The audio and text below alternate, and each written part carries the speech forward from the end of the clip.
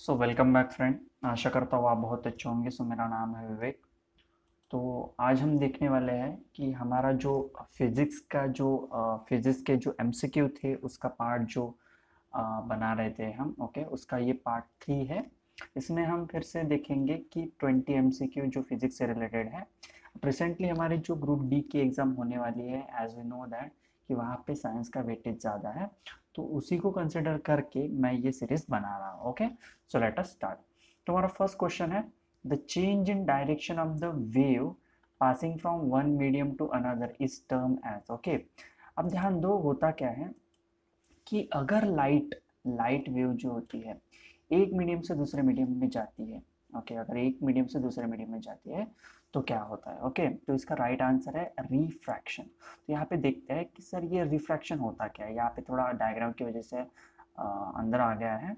Refraction का मतलब क्या है कि अगर कोई लाइट रे ओके किसी एक मीडियम से मतलब किसी एक मीडियम में अगर मैं कंसिडर करता हूँ कि यहाँ पे एयर है ओके एंड वो एयर से किसी वाटर या ग्लास में एंटर करती है तो होता क्या है कि लाइट की डायरेक्शन तो ये होनी चाहिए थी, लेकिन यहाँ पे वो थोड़ा बेंड हो गया है।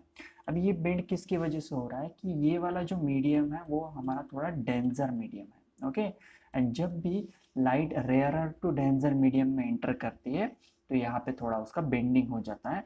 एंड इसी फिनोमेनो को क्या बोलते हैं? Refraction, okay? So I hope यहाँ तक क्लियर हो गया होगा। नेक्स्ट क्वेश्चन की तरफ़ मूव करते हैं. Light can be a focus on our retina through which of the following phenomena तो लाइट जब हमारे रेटिना पे फोकस करता है तो वो लेंस से पास होता है, हमारे आई के लेंस से पास होता है. तो ये कौन सा फिनोमेना से पास होता है? तो राइट right आंसर है हमारे पास रिफ्रैक्शन अभी होता क्या है? जैसे आप यहाँ पे आई देख सकते हो ओके हमारे आई में ये जो वाइट कलर का दिख रहा है, इसे बोलते हैं क्रिस्टलाइन लेंस यहाँ पे एक प्रोटीन होता है, इस प्रोटीन का नाम है क्रिस्टलाइन कौन सा प्रोटीन क्रिस्टलाइन प्रोटीन होता है। अगर आपको क्वेश्चन आ जाए कि सबसे आउटरेस्ट लेयर कौन सा होता है, ये होता है कॉर्निया एंड इसे बोला जाता है लेंस अब जैसे लेंस से लाइट अंदर जाती है ओके ऐसे लाइट अंदर आ गई तो यहाँ पे उसका फोकस होता है, और ये लाइट ऐसे इसके रेटिना के ऊपर फोकस होती है। क्या होती है? ये हो गया हमारे पास रेटिना तो यहाँ पे जब लाइट फोकस होती है, तभी हमारे ब्रेन में इमेजेस बनते हैं. ओके तो सिंपल हो क्या रहा है कि ये लेंस क्या कर रहा है? जो लाइट स्ट्रेट जाना चाहिए था, वो थोड़ा उसे बेंड करके भेज रहा है. अब बेंडिंग ऑफ़ लाइट मीन्स क्या होता है? रिफ्रैक्शन होता है. तो हमारे आई में भी क्या हो रहा है? रिफ्रैक्शन हो रहा है. ओके नेक्स्ट क्वेश्चन की तरफ़ जाते हैं. The speed of light in vacuum is represented as तो हमें सभी को पता है कि sir speed of light A से डिनोट किया जाता है ए मतलब एक्सेलरेशन होता है वी मतलब वेलोसिटी होता है आई मतलब इनर्शिया होता है। तो हमारे पास एक लेटर है सी तो सी से इसे डिनोट किया जाता है, ये आप बात याद रखना। और एक फ्रेंड इंपॉर्टेंट फार्मूला है, जैसे आइंस्टाइन ने एक इंपॉर्टेंट फार्मूला दिया था that is E is equal to M C square okay E is equal to M C square तो यहाँ पे इसे बोला जाता है mass and energy relation where E is the energy mass उस पार्टिकल का होता है एम क्या होता है? Mass of the particle and C is the speed of light okay ये किसने दिया था? आइंस्टाइन ने दिया था। नेक्स्ट क्वेश्चन तक तरफ़ तरफ़ मूव करते हैं हम। Twinkling of star is a due to which optical phenomena okay तो हमारे पास जो स्टार ट्विंकल करता है तो वो कौन सा ऑप्टिकल फिनोमेना की वजह से है? ओके? तो ये ऑप्टिकल फिनोमेना है हमारे पास रिफ्रैक्शन राइट आंसर है रिफ्रैक्शन तो फिर से, अब सर ये रिफ्रैक्शन यहाँ पे हम कैसे समझते हैं? ध्यान दो। ये है हमारा अर्थ का एटमोसफियर यहाँ पे एयर है और ये है हमारे पास स्टार तो स्टार का जैसे लाइट हमारे एटमोसफियर में एंटर करता है। यहाँ पे वैक्यूम है मीन्स ये रेयर मीडियम हो गया। तो जैसे एयर में एंटर करता है, ये होता है बैंड क्या होता है? Bend and due to the different layer कभी कभी क्या होता है कि एयर एटमोसफेयर के अलग अलग लेयर के वजह से डेंसिटी चेंज होती है. तो जैसे डेंसिटी चेंज होती है होती है लाइट की स्पीड कम ज़्यादा कम ज़्यादा हो जाती है. एंड इसके वजह से हमें क्या लगता है कि ये जो स्टार बहुत जो दूर है, इस डिस्टेंट ऑब्जेक्ट है, वो ऐसा लगता है कि light on off on off हो रहा है। इसे बोला जाता है twinkling of star and twinkling of star ये किसका फिनोमेना है? ये रिफ्रैक्शन ऑफ़ द लाइट का ही फिनोमेना है। ठीक है? नेक्स्ट क्वेश्चन की तरफ़ जाते हैं। नेक्स्ट क्वेश्चन है हमारे पास light from the sun falling on a convex lens will converge at okay तो कॉन्वेक्स लेंस के ऊपर जब लाइट गिरेगा तो वो कौन से पॉइंट के ऊपर कन्वर्ज होता है? तो वो होता है फोकस के ऊपर कन्वर्ज कहाँ पे होता है? फोकस की तरफ़। अभी यहाँ पे कुछ फिनोमिना ध्यान देना है। दो लेंसेस होते हैं। एक होता है कॉनकेव और एक होता है कॉन्वेक्स तो यहाँ पे आप जो देख सकते हो, ये कॉन्वेक्स लेंस है। ये होता है उसका फोकस फोकस मीन्स क्या होता है? फोकस मीन्स ऐसा पॉइंट अगर हम एक तरफ़ से लाइट डालेंगे तो ये लाइट किसी एक पॉइंट पे क्या होता है? इंटें मतलब फोकस हो जाता है। एंड इसी पॉइंट को क्या कंसिडर करते हैं? फोकस कंसिडर करते हैं। तो जहाँ पे लाइट ओके मतलब कन्वर्ज होता है, एक जगह पे आके मिलता है, उसे बोला जाता है फोकस नेक्स्ट क्वेश्चन है scattering of light can be seen in तो ये जो स्कैटरिंग का फिनोमेना है, किस किसमें दिखाई देता है? तो स्कैटरिंग का फिनोमेना तीनों इसमें भी दिखाई देता है। स्कैटरिंग से स्काई का ब्लू कलर दिखाई देता है। सन का रेडिश कलर होता है। एंड जब सन डूबने लगता है, सनसेट होता है, तब भी रेडिश कलर जो दिखता है स्काई का और सन का, ये दो तीनों भी फिनोमिना स्कैटरिंग ऑफ़ लाइट की वजह से है। ओके? तो answer is the all of the above. अब यहाँ पे क्वेश्चन मेन है कि स्कैटरिंग ऑफ़ लाइट होता क्या है? तो फ़र्स्ट ऑफ़ ऑल, ये आपको बात ध्यान रखनी है कि अगर हमारे पास सन से लाइट आ रहा है, हमें पता है कि सर एटमोसफियर में बहुत सारे पार्टिकल है। Either it is the air particle water particle smoke particle तो बहुत सारे पार्टिकल है। तो लाइट जब ये पार्टिकल से टकराती है तो वो इधर उधर फैल जाती है। अब होता क्या है कि मैक्सिमम टाइम जो ब्लू लाइट होती है, वो ऊपर के डायरेक्शन में चली जाती है एंड जो बाकी की जो लाइट होते हैं, वो नीचे के डायरेक्शन में चले जाते हैं। तो मैक्सिमम टाइम हमें क्या लगता है कि जो स्काई है, वो ब्लू होता है। लेकिन हमेशा ऐसा नहीं होता है कि ब्लू लाइट ही ऊपर जाएगा। ये डिपेंड करता है कि डिस्टेंस कितना है सन का ओके तो हमेशा स्कैटरिंग ऑफ़ लाइट की वजह से क्या होता है कि हमारा जो स्काई होता है ब्लू दिखता है। कभी सन हमें रेड रेडिश दिखता है सनसेट या सनराइज की वजह से ओके तो ये किसकी वजह से होता है? Scattering of light next question है। The change in focal length of human eye is cause due to तो ह्यूमन आई का जो फोकल लेंथ होता है ओके ये किसकी वजह से होता है? तो इसका राइट आंसर है हमारे पास सीलियरी मसल अब सर सीलियरी मसल होता है क्या? है ध्यान दो, ये मसल आप यहाँ पे ये जो देख सकते हो, ये वाला, ये जो लेंस को पकड़ के है ओके इसे बोला जाता है सीलियरी मसल अब सर हमें पता है कि हमारे आँखों में भी एक लेंस है तो ये सीलियर मसल क्या करते हैं? इसे खींचने का काम करते हैं। कभी कभी ये टाइट होता है कभी कभी ये रिलैक्स होते हैं। तो इसकी वजह से क्या होता है, ये जो लेंस का जो साइज़ है ना, वो कम ज़्यादा होते रहता है। एंड हमें पता है कि अगर मैं लेंस का साइज़ कम ज़्यादा करूँगा तो डिपेंड करता है कि ज़्यादा साइज़ होगा तो फोकस जल्दी होता है। एंड अगर मैं साइज़ कम कर दूँगा मतलब ये पतला कर दूँगा तो फोकस दूर होता है फोकस दूर होता है। तो डिपेंड करता है कि ये जो लेंस है लेंस की थिकनेस क्या है? अगर लेंस की थिकनेस कम है तो फोकस दूर होता है और लेंस की थिकनेस ज़्यादा है तो फोकस नज़दीक होता है, ओके? तो ये एडजस्ट कौन कर रहा है? सिलियरी मसल एडजस्ट कर रहा है। नेक्स्ट क्वेश्चन है हमारे पास the ability of eye lens to adjust the focal length इसे क्या बोला जाता है, ओके?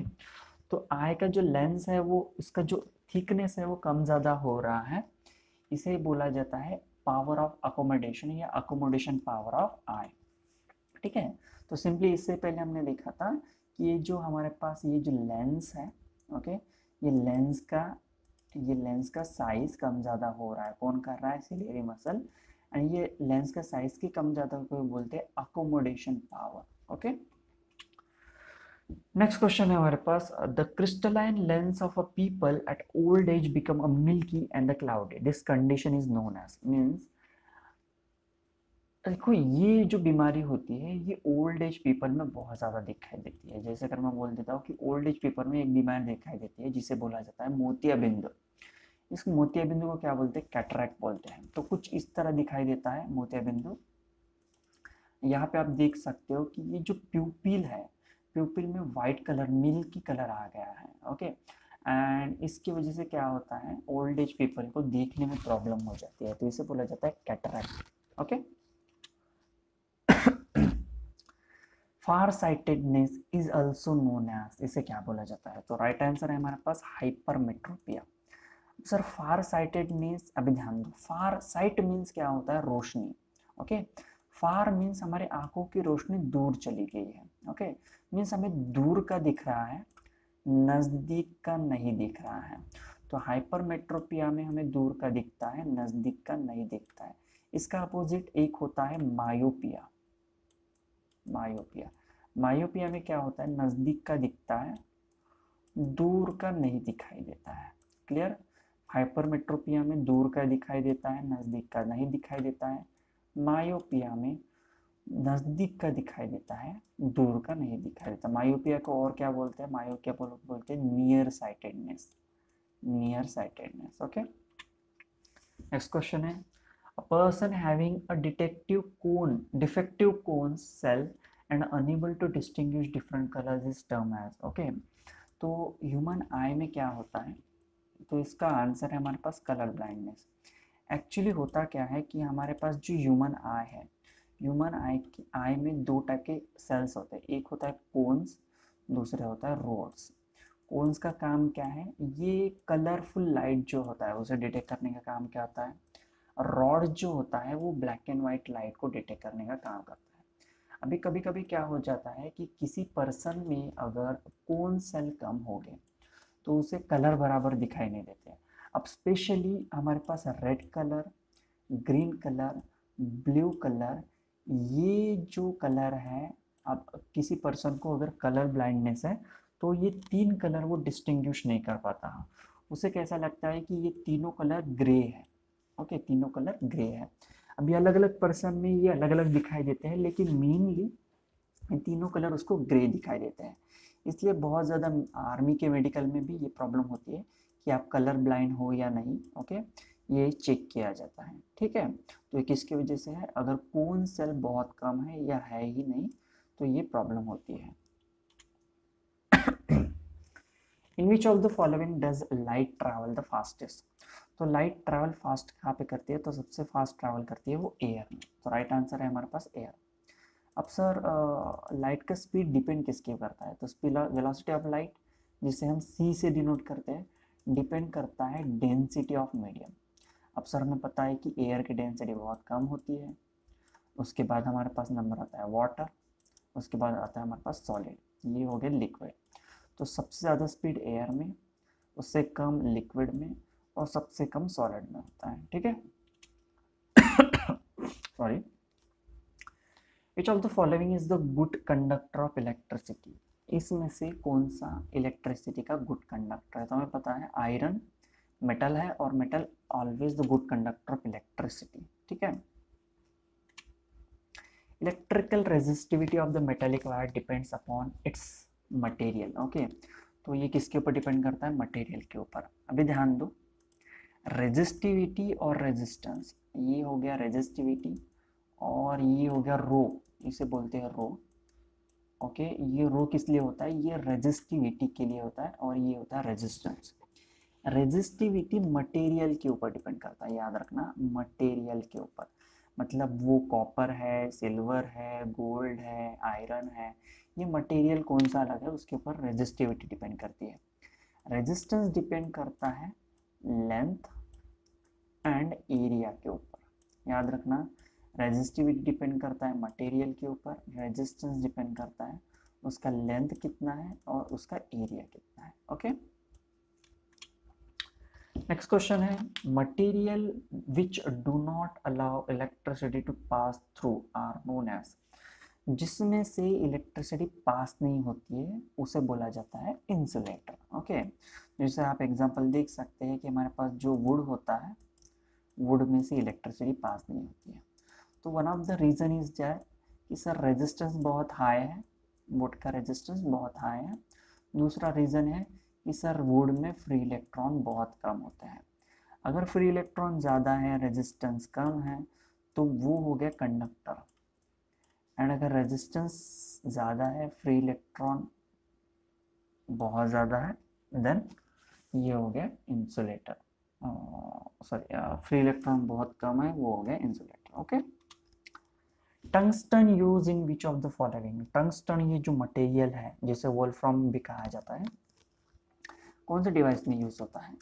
तो ये यूज़ होता है इलेक्ट्रिक बल्ब में ओके ये हमारे पास इलेक्ट्रिक बल्ब तो यहाँ पे होता है ये टंगस्टन का छोटा सा वायर और एक बात आपको बतानी है फ्रेंड्स यहाँ पे एक गैस होती है ओके ये गैस क्यों होती है या किसके लिए होती है कि टंगस्टन का ऑक्सीडेशन ना हो?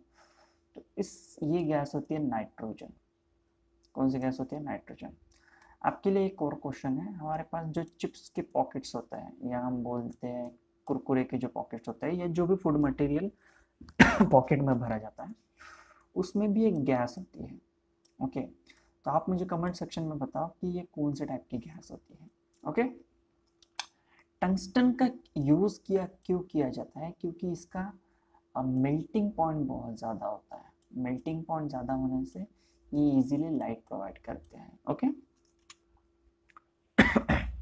copper is use in electrical transmission lines because copper को क्यों यूज़ किया जाता है? क्योंकि इसकी रेजिस्टिविटी बहुत हाई होती है।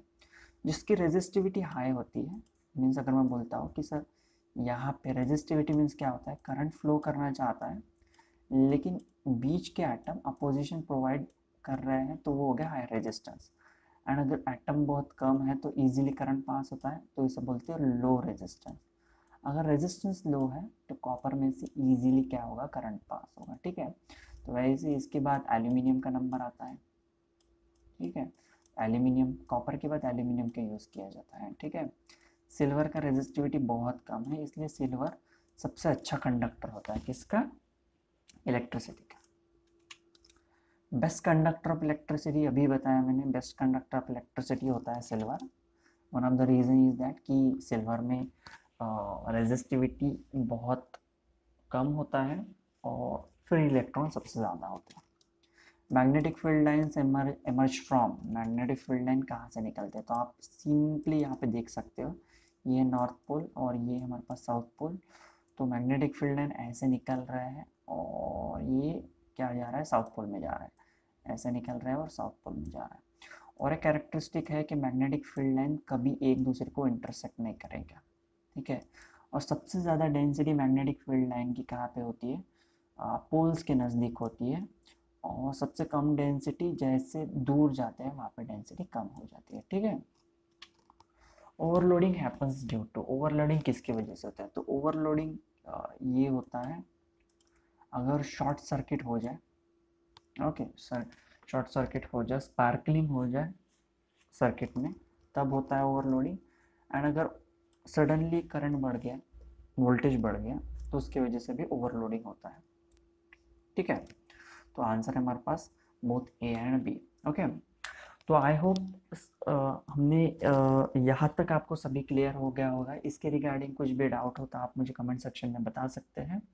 अगर आपको मेरा कंटेंट पसंद आता है तो please like subscribe and share my channel क्योंकि फ्रेंड्स आप सपोर्ट करोगे तो मैं ऐसे ही वीडियो आपके लिए डालता रहूँगा।